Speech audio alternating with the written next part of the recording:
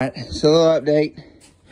I just had to shut the camera off and then I got the uh, keeper out and I'm going to need a new gasket. because This one's messed up. Either get a new one or make a new one. Alright, so I'll show you the trick with the sandpaper. Now this isn't like a good valve job, but it'll help clean it up and hopefully try to resurface it. I've seen it done by a small engine mechanic, Taryl Fixes All. Go to his channel. Then make a line. Now I'm gonna come over here, make an X in the middle of that. Try to.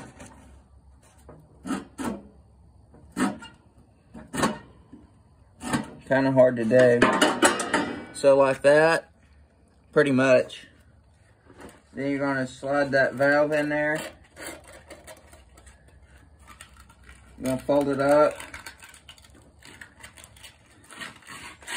Kind of. You don't, you want it to get it to seat. You're going to want it to seat inside there. And I may have done it wrong. That valve's still a little stuck. What I do this screwdriver? Here it is.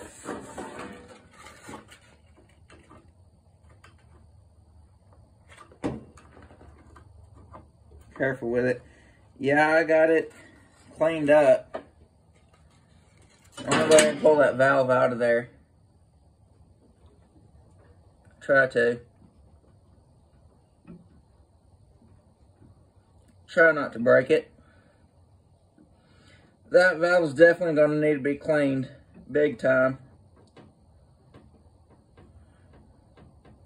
That's all kinds of stiff and, uh, well, junked up. Got a bunch of junk in it. So, if this thing was to have ran with this, without this valve being cleaned, yeah, the uh, valve guide would probably come out and then blow the engine up, pretty much. Come on. Get out of there. There we go. Let that all get in there in that seat. Look at this. See all that junk on there? It's got a bunch of junk there, and then this was all sticking. There's the inside. Here's the valve seat I just cleaned up. Now, before that was not bare metal at all. That was black. Now I'm going to come over here. I'm just going to lightly, very, very lightly take the sandpaper. Now you don't want to do too much at all. I'm just going to kind of clean it up a little bit and see where the surface is at. And it will help clean it off. Oh, I pretty much said that, but it may help keep it from sticking. What I need is valve lapping compound. Now you don't want to get too crazy with it.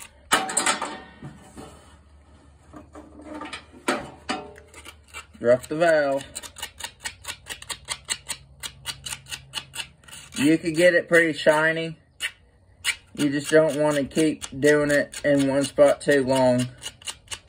Because it'll ruin the surface. There.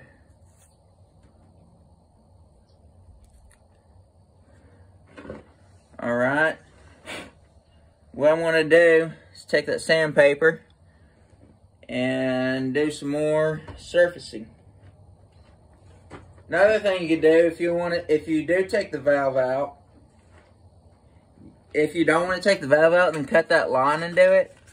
But another thing you do, if you might as well just take out the whole valve.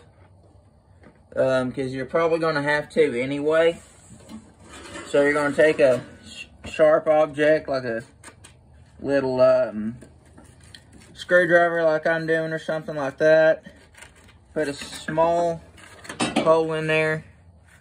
You're going to want it this way. You're going to shove that valve in there. Just like that. And it's going to set right there. And it's going to surface itself and clean up that little um, valve. So once you get it in there, it'll seat itself. You just got to let it, you just got to let it seat itself. You can't, the sandpaper, you can't, you have to let the sandpaper fit.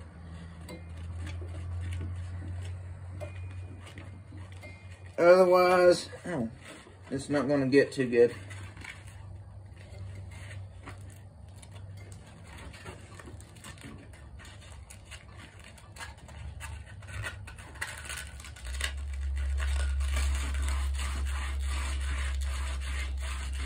Just get it as good as you can.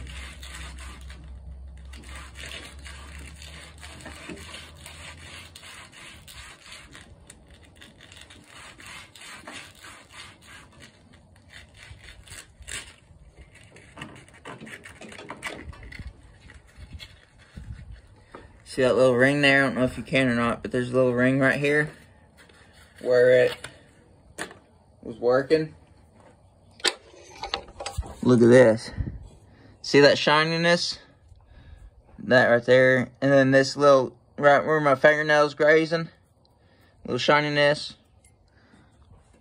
That is exactly what you want. That's exactly what you want. And you're going to have to clean all this out too. Because it's the intake valve. And once you run it, it's going to throw that junk up into the cylinder. Wear out your, your brand new rings and throw it out the exhaust. If it goes out the exhaust. If.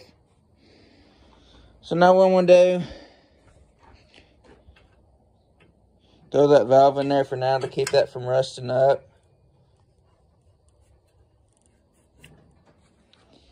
And uh, I think I'll take a break from this for a few minutes, for a little bit. And, uh, well, there's your valve job, and I'll see you in the next video.